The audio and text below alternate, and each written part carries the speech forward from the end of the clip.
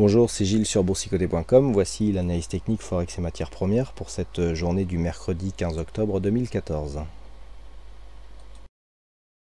Et donc nous commençons avec cette forte hausse hein, constatée sur l'euro dollar. Donc depuis quelques jours, je vous indique que tant qu'on ne dépasse pas ici la zone des, euh, des 1,2580, il y avait un rebond technique possible en direction des 1,29. Alors on n'a pas tout à fait fait les 1,29 hein, puisqu'on est venu s'arrêter ici sur une zone horizontale à 1,2886 qui était une zone déjà identifiée sur les précédentes analyses. Donc on a toujours hein, cette configuration avec des points bas qui sont légèrement haussiers. Et donc ici, suite à, donc aux, statistiques euh, de 14h30, eh l'euro dollar connaît une, forte hausse, forte hausse qui a été suivie par l'algorithme hein, qui suit les, signaux de breakout et qui est euh, actuellement euh, euh, sur une belle plus-value et avec une position déjà euh, clairement protégée.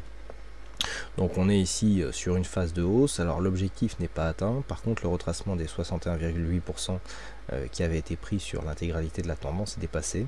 Donc il risque d'y avoir ici un retournement et donc un, retour ici vers un objectif un, peu plus haut et donc un retracement total qui se situe sur les 1.30. Hein. Donc là, tant qu'on ne casse pas ici un point bas significatif, et eh bien l'objectif euh, lié justement à ce, retracement total se situe à 1.30, ce qui constitue une phase d'arrêt sur la tendance moyen terme qui reste pourtant euh, orientée euh, à la baisse, en tout cas sur l'euro-dollar.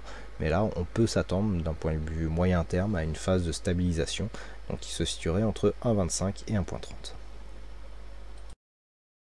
Et aujourd'hui, pas de dollar yen, actualité oblige, mais un petit détour ici sur le câble, la paire livre sterling contre dollar américain.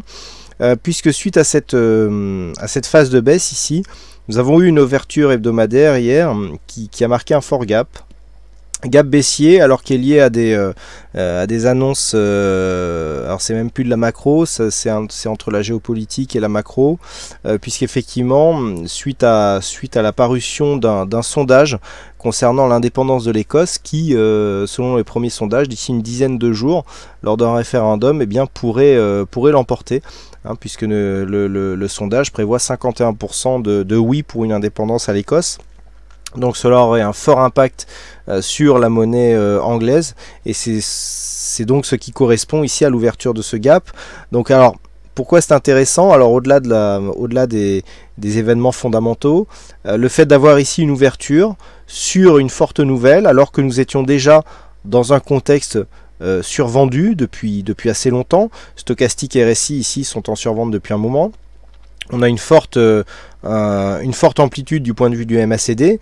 Et pour vous illustrer euh, que ce n'est pas parce qu'une configuration est forte que l'on a forcément un retournement. Là, on aurait pu se dire, on est survendu depuis un petit moment, on est sur une zone de support intermédiaire. D'ailleurs, euh, petite parenthèse, ça fait quelque temps que je n'ai plus analysé cette paire de devises et je n'ai touché euh, à ce stade aucune, euh, aucune zone horizontale. Et on voit ici hein, que les zones majeures qui avaient été précédemment définies font toujours bien ici office de support. Et idem pour cette zone, puisqu'on vient se poser ici sur cette zone de support avant de confirmer et d'aller rechercher une zone intermédiaire. Fin de la parenthèse. Donc on le voit, malgré ici une configuration fortement survendue, des signaux de retournement évidents, eh bien il n'y a pas eu de retournement du tout, et même au contraire, on vient chercher ici un gap baissier dans le sens de la tendance, et donc malgré une configuration qui aurait pu appeler à jouer le rebond technique, et eh bien là, euh, c'est euh, voilà, il n'y a pas de il n'y a pas de généralité. Malgré cette configuration, on vient continuer à, baisser quand même.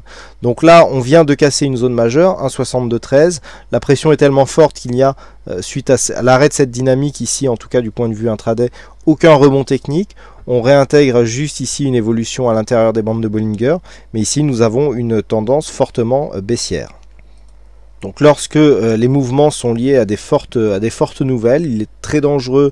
Euh, alors effectivement, on peut toujours jouer le rebond en, disant, en, priceant un, un, nom au référendum qui aura lieu dans une dizaine de jours. Mais c'est quand même très dangereux. Hein. On peut le voir ici sur cette phase. Malgré une survente évidente, malgré des, signaux de retournement, eh bien le retournement ne s'est pas fait. au contraire, on a ouvert un gap baissier et il n'y a aucune euh, euh, il n'y a rien d'automatique dans le comblement des gaps, surtout, euh, surtout en forex ici sur des gaps hebdomadaires. Donc une configuration qui reste baissière, très dynamique, Hein, on, a une très forte amplitude ici au niveau du MACD dans un contexte fortement euh, survendu. Et donc on, reste ici baissier, on voit bien hein, sous la moyenne mobile 20 exponentielle. On contact répété sur la bande de Bollinger inférieure, c'est toujours de la tendance baissière. Et pour l'instant, il n'y a aucun signal de retournement à court terme. Et enfin sur l'or, nous avons ici la confirmation que cette tendance haussière ici est dans une phase de continuité. Alors pourtant on avait une cassure hein, dans la nuit de cette, zone de support qui était matérialisée par la moyenne mobile 20 exponentielle. Les cours sont légèrement descendus mais il n'y a pas eu contact avec la bande de Bollinger inférieure. Les cours sont même remontés, marqué un contact ici appuyé avec la bande de Bollinger supérieure et donc on a cassé ici le retracement à 38,2% faisait jusqu'à présent office de, résistance. On casse aussi la zone des 1240, mais on ne la confirme pas, puisque malgré des attaques répétées, on reste sous cette zone. Donc d'un point de vue de la configuration, clairement il y a une continuité du mouvement haussier qui s'est mis en place. L'objectif se situe maintenant dans la zone 50-61,8, donc entre 1252 et 1268 dollars l'once. La zone des 1257, qui était une zone majeure, fait office d'objectif. Euh, donc sur une cassure ici de cette zone des 1240 dollars l'once, eh bien on visera 1257. Ce scénario sera invalidé si nous avions une cassure de ce point bas significatif qui se situe à 1222 dollars l'once.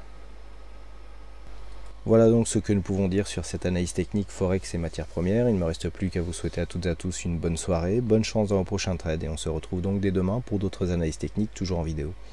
Et toujours sur le site boursicoté.com. Bonne, bonne soirée à tous.